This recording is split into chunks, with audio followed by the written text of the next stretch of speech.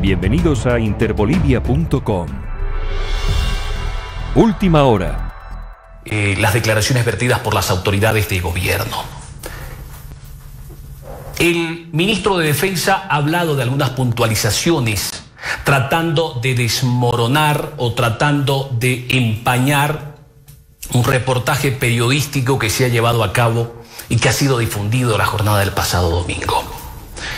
Vamos a ir por parte y vamos a ir esgrimiendo cada uno de los puntos que a los cuales ha hecho alusión el ministro de Defensa.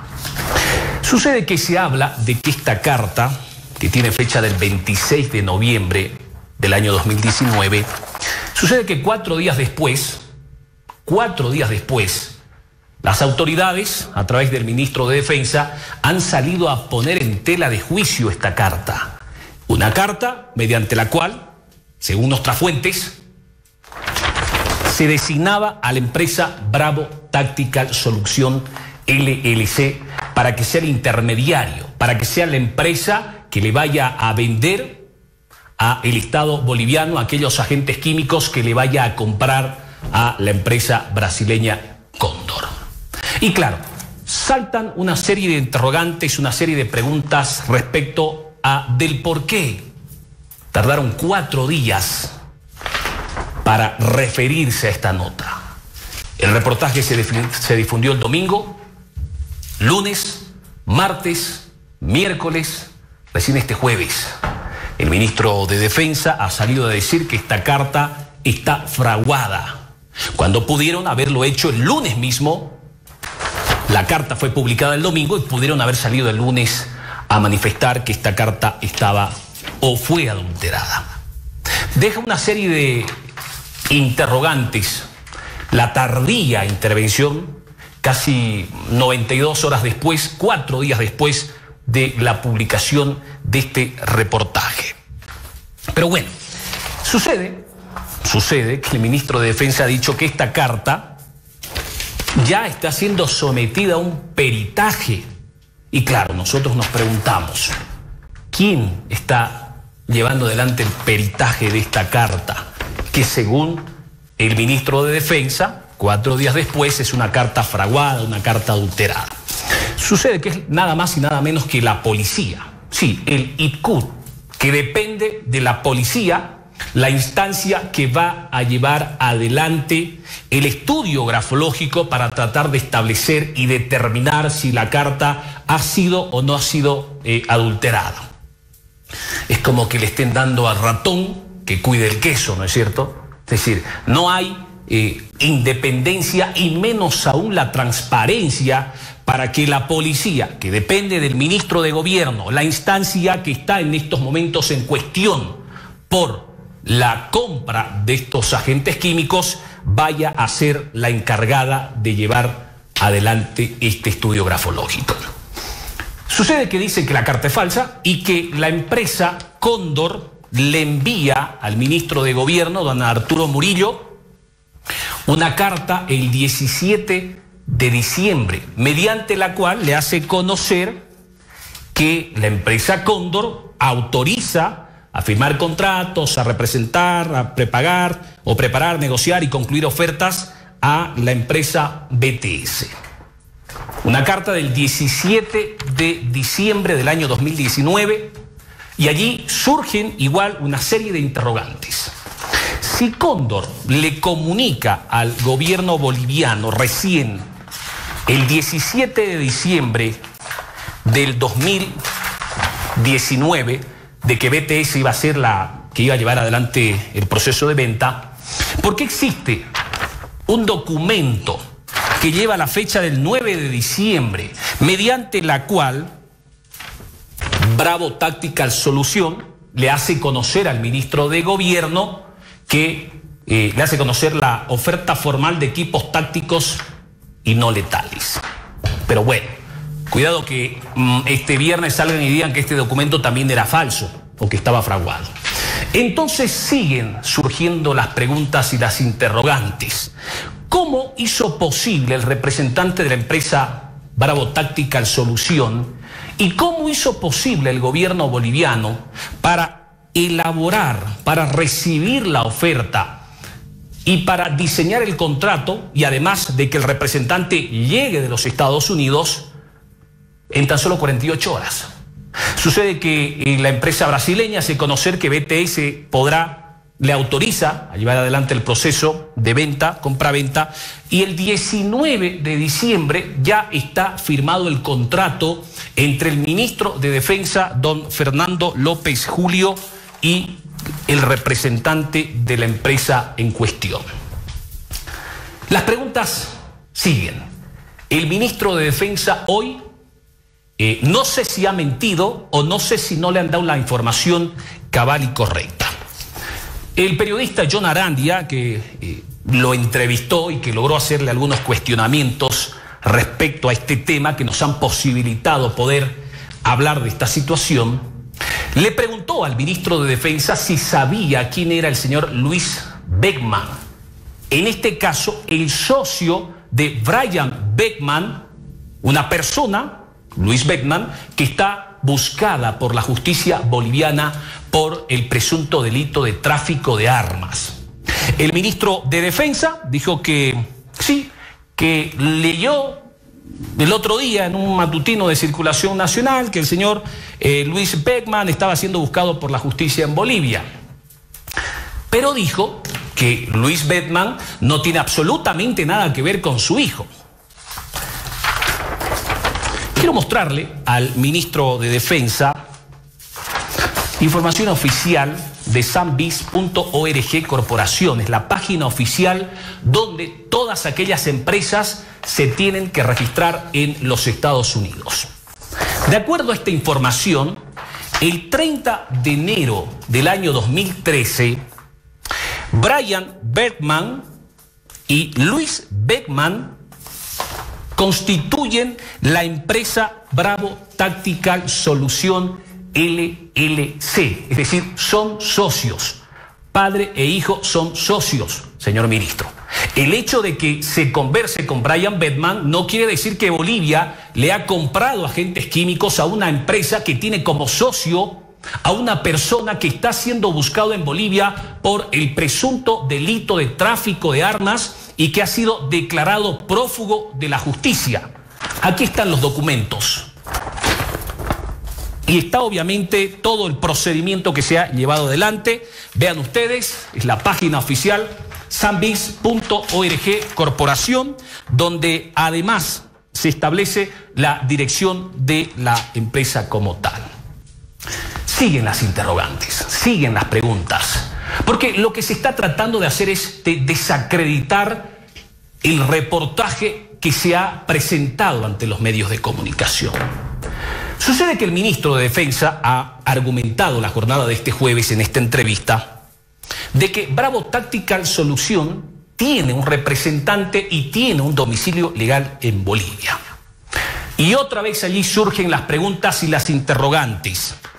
Si Bravo Tactical tiene un domicilio legal en Bolivia, si BTS tiene un representante legal en Bolivia, ¿por qué en el contrato que suscribió el ministro de Defensa con la empresa en cuestión, en la cláusula séptima, se establece, dice, domicilio a efectos de notificación. Cualquier aviso o notificación que tengan que darse las partes suscribientes del presente contrato será enviada de manera escrita al proveedor en 7531 Black Olive Way, eh, Florida 33321 y allí también establece el correo electrónico. Por parte del Ministerio de Defensa se establece como el domicilio a efectos de notificación la avenida 20 de octubre, esquina Pedro Salazar. Vean ustedes, si esta empresa tenía representante y domicilio legal en Bolivia, ¿por qué se pone en el contrato la dirección de eh, la empresa en cuestión en los Estados Unidos. Y vamos a ir ahora, antes de ir al fondo del asunto que tiene que ver con el dinero, muchos se preguntan por qué fue el Ministerio de Defensa el que llevó adelante la compra de agentes químicos para el Ministerio de Gobierno si el Ministerio de Gobierno puede también llevar adelante la compra de sus agentes químicos. Se ha dicho mucho respecto a que había premura, respecto a que había urgencia en el país. Falso. El 27 de diciembre, cuando el avión de la Fuerza Aérea Boliviana va y trae la primera carga o el primer envío, el país habría, había, no había, habría, había ya logrado la pacificación. Los diferentes sectores que estaban convulsionando el país habían dejado ya de lado sus movilizaciones. ¿Por qué fue el Ministerio de Defensa? Hemos llegado a una conclusión respaldada legalmente respecto a del por qué fue el Ministerio de Defensa y no el Ministerio de Gobierno que llevó adelante la compra de estos equipos. Sucede que si el Ministerio de Gobierno compraba los agentes químicos, al llegar a Bolivia, el proveedor o el intermediario tenía que pagar la desaduanización de los agentes químicos. Pero no solamente eso, al igual que cualquier ciudadano común y corriente de este país, una vez pagaba la desaduanización de estos agentes químicos, tenía que emitir la factura de ley al Ministerio de Gobierno por el monto mediante el cual se habría llevado adelante la consolidación de esta transacción. Porque el Ministerio de Defensa. Sucede que el artículo 113, perdón, sucede que el artículo 131 de la ley 1405 que es la ley orgánica de las Fuerzas Armadas de la Nación, aquí tengo el artículo, dice lo siguiente. Por razones de seguridad y defensa nacional, los contratos o convenios relativos a la adquisición de bienes de uso militar y material bélico de las Fuerzas Armadas están exentos del pago de todo impuesto a tributo ya sean fiscales, aduaneros o municipales. Fue por eso que Defensa llevó adelante la compra y la firma de estos agentes químicos. Vamos a hablar ahora de el monto que se pagó. Vamos a hablar de aquel hecho que ha provocado escosor en las filas del Ministerio de Gobierno. Sucede que se cuestionó el que como periodista y medio de comunicación hayamos utilizado, fue lo que teníamos en nuestro poder en aquel entonces, esta orden de compra de la empresa Cóndor en favor de la República Bolivariana de Venezuela el año 2017. Allí establecimos de que Venezuela pagó mucho menos que el gobierno boliviano y lo ratificamos. De acuerdo a este documento que tenemos en nuestro poder, Venezuela pagó mucho menos que Bolivia. Se cuestionó, se dijo que era un documento del año 2017, se dijo incluso que eran granadas de 225 gramos y que la que compró el gobierno era de 440 gramos, cuando eso no está contemplado ni en el contrato ni en la oferta. Es decir, es un documento que igual puede ser manipulable. Pero sucede que la jornada de este día jueves hemos accedido a la página oficial del SICOES, el sistema, puede tener otro nombre, ¿no? El sistema de contrataciones del Estado en Ecuador. Allí, también un intermediario, la empresa Futura Armas, Municiones y Accesorios, participa de un proceso de invitación o licitación donde al menos unas cuatro empresas llevan adelante la presentación de sus propuestas para la compra de los agentes químicos por parte del gobierno ecuatoriano en este caso, diciembre del año 2019. Allí, según esta propuesta, que la hemos conseguido de la página oficial del Ecuador, Futura le propone al, al gobierno ecuatoriano un precio de 12 dólares americanos por la venta de un cartucho con proyectil de largo alcance, calibre 37 y 38. 12 dólares americanos. De igual manera, cartucho de proyectil de largo alcance, calibre 40 por 12 dólares americanos. De acuerdo a la oferta que hizo Bravo, los bolivianos pagamos 270 bolivianos. Es decir, pagamos 38.80 dólares americanos, como 26 dólares más. Y claro, si usted lo ve 26 así sueltito, parece nada. Pero multiplique 26 por 50 mil unidades de este proyectil de largo alcance calibre 37 y calibre, calibre 38 es una propuesta que hace futura a el gobierno ecuatoriano. Pero en este link que estamos analizando, publicarlo para que ustedes lo puedan ver, sin embargo, al ser un tema de Estado, podrían existir algunos problemas con el Ecuador. Pero bueno, se trata aquí de demostrar la verdad, ¿no es cierto?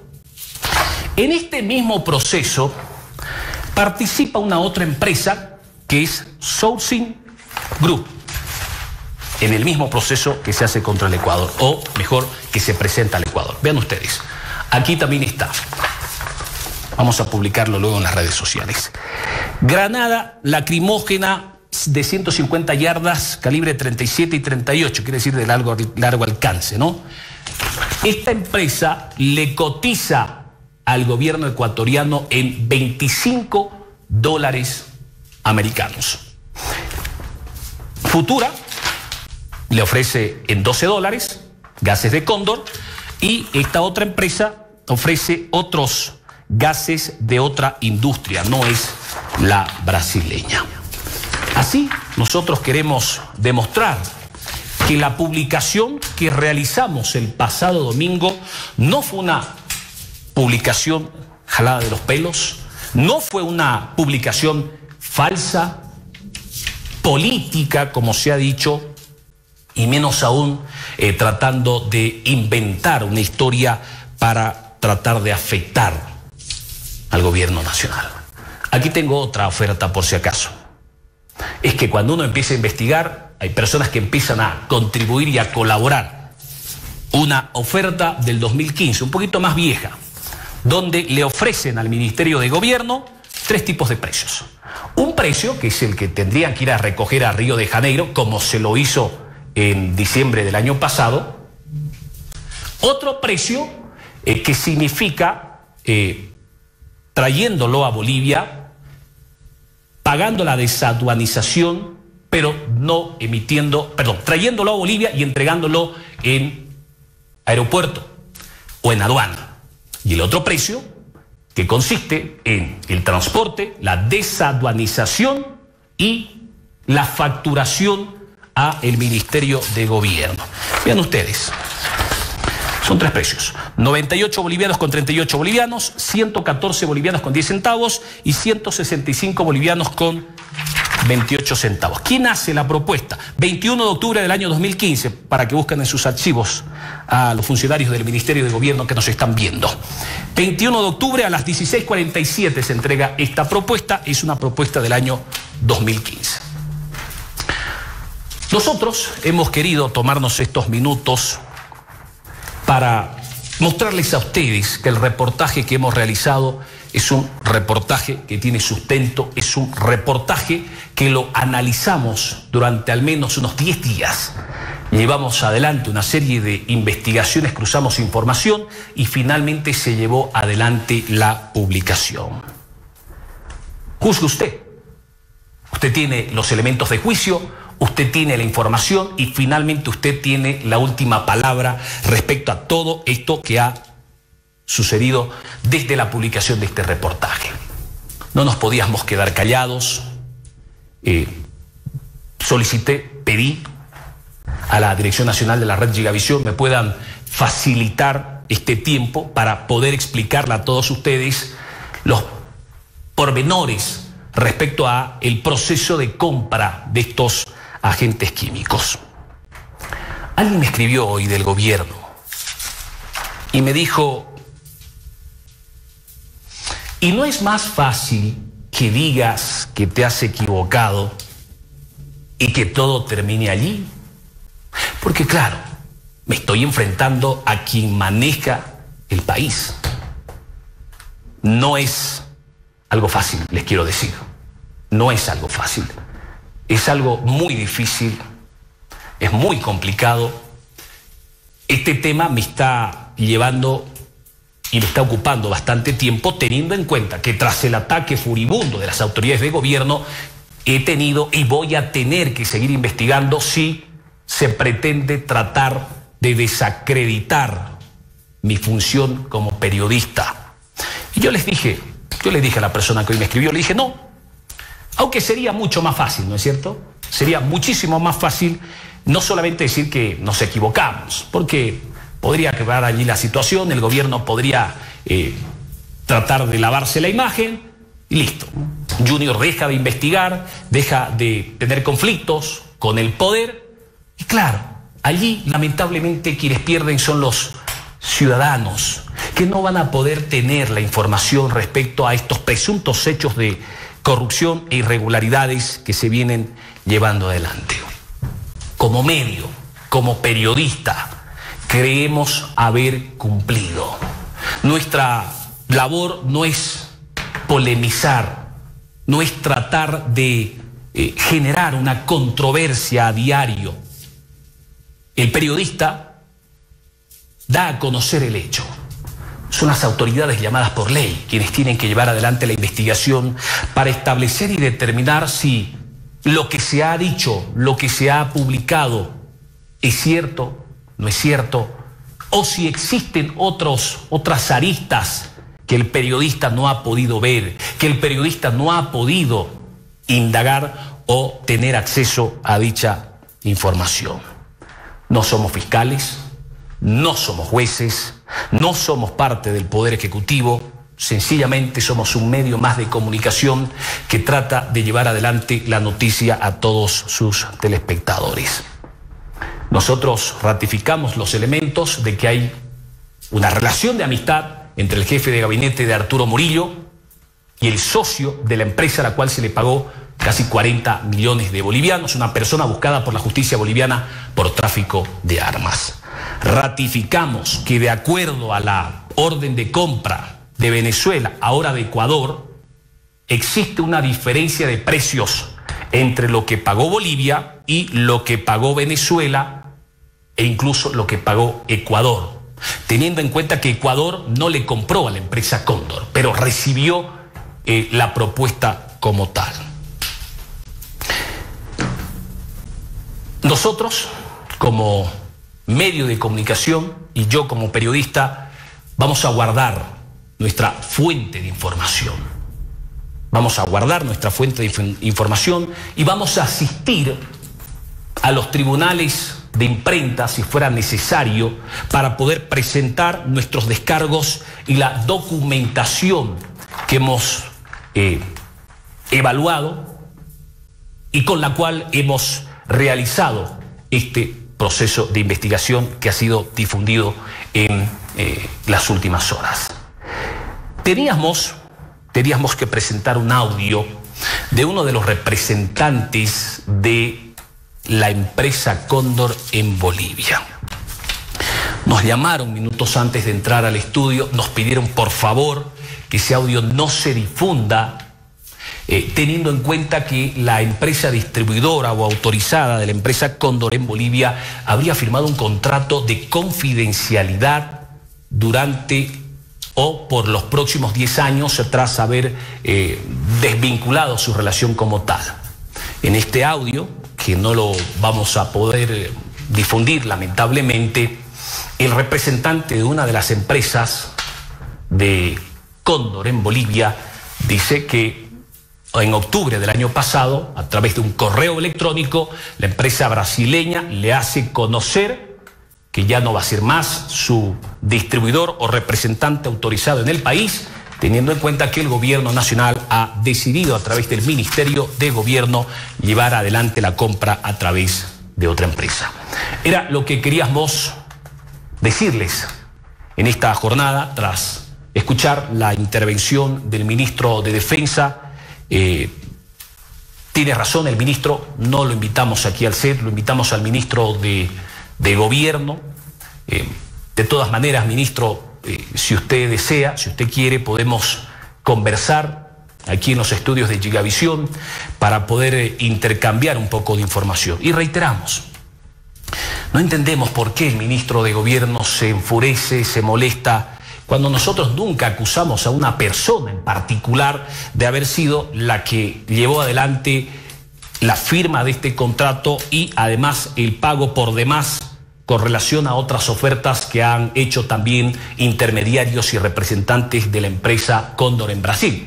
Lo ideal sería que se lleve adelante un proceso de investigación para de repente el ministro fue sorprendido en su buena fe o de repente ni siquiera se enteró de que hubo este hecho que no está muy claro y que no está transparente. Sin embargo, ustedes ya han escuchado eh, al gobierno nacional, han leído el comunicado del pasado domingo, nosotros hemos cumplido, creemos que hemos presentado los documentos, hemos presentado la información, hemos presentado el reportaje y bueno, ahora es el telespectador quien tiene la última palabra respecto a todo esto que ha sido expuesto en estos últimos minutos. Los dejamos ahora en compañía de nuestros principales titulares. Buenas noches. Permiso. El reportero eres tú. Subimos vídeo y contenido todos los días. Suscríbete a nuestro canal y no olvides activar la campanita para que te llegue todas las notificaciones.